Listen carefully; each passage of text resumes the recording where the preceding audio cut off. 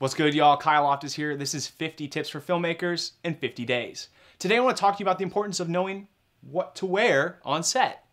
um, so, you know, it's very, very important that you're wearing the right attire to productions. Now, sometimes your client might ask you to wear certain attire. If so, adhere to those rules and regulations. But for the most part, what you should be wearing on set is jeans, closed-toed shoes, and a short sleeve or long sleeve that is monochromatic, more specifically and particularly black in the priority or like a dark gray following up. We don't want to have any bright yellows or oranges, any vibrant colors that are really going to pop because one, it's going to be distracting. It's very important that we can access and find the people we need to find when we need to find them, more specifically our talent. Um, and lastly, one of the biggest things I want to talk about with, with clothing and attire is wearing closed-toed shoes.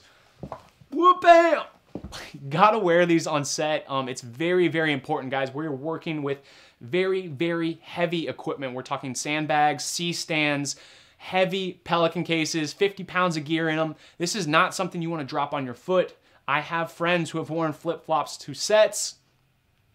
They regret it. Let me just say that. Um, so um, with that all being said, guys, again, just want to give you a quick and easy reminder what to wear for your production sets.